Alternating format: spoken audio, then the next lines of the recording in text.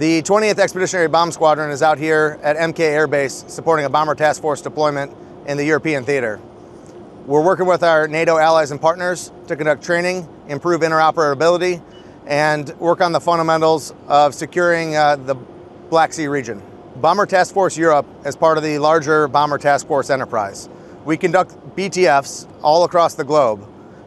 BTF, or Bomber Task Force Europe, is focused on the European region, and so that's why we're here at MK Air Base, working with our NATO partners, securing the Black Sea region. This Bomber Task Force mission, like many others we conduct across the globe, focus on improving how we communicate and work with our allied partners. Flying together, training together, working together on the ground, we build that common picture uh, so that we can work better in any environment. No nation can meet today's security challenges alone. So it's important that we operate in those critical areas like the Black Sea region. So it's been a great experience for the team here to get to know some of our NATO partners and allies, uh, to work with them, to fly with them, and train with them over the last few days. While we do Bomber Task Force missions all across the globe, this one is a special deployment for us.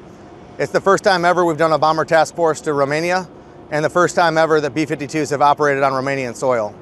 It gives us a unique opportunity to work with our partners and allies here, to work with our joint partners in the Army, and conduct real life missions to hone tactics, techniques, and procedures.